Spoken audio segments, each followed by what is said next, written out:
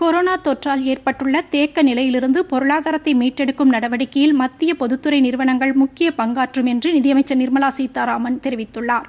புதுதில்லியில் நேற்று பொதுத்துறை நிறுவன அதிகாரிகள் மற்றும் சம்பந்தப்பட்ட அமைச்சக உயர் அதிகாரிகளுடன் நிதியமைச்சர் நிர்மலா சீதாராமன் காணொலி காட்சி மூலம் ஆலோசனை நடத்தினார்.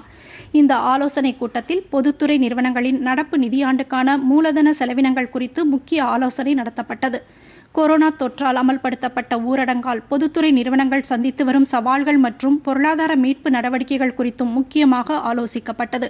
கொரோனா தொற்றால் ஏற்பட்டுள்ள பாதிப்புகளில் இருந்து பொருளாதாரத்தை மீட்டெடுக்கும் நடவடிக்கையில் பொதுத்துறை நிறுவனங்கள் முக்கிய பங்காற்றும் என்று நிதியமைச்சர் அப்போது குறிப்பிட்டார். தங்களது உற்பத்தி இலக்கை பொதுத்துறை நிறுவனங்கள் அடைய மத்திய அரசு முழு ஒத்துழைப்பு அளிக்கும் என்று நிதியமைச்சர் நிர்மலா சீதாராமன் உறுதியளித்தார்.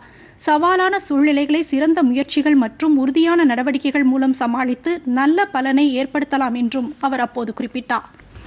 பொதிகை செய்திகளை யூடியூபில் தமிழ் நியூஸ் தூர்தர்ஷன் என்ற சேனலிலும் முகநூலில் டிடி பொதிகை நியூஸ் என்ற பக்கத்திலும் ட்விட்டரில் டிடி நியூஸ் சென்னை என்ற பக்கத்திலும் இன்ஸ்டாகிராமில் டிடி பொதிகை நியூஸ் என்ற பக்கத்திலும் காணலாம்.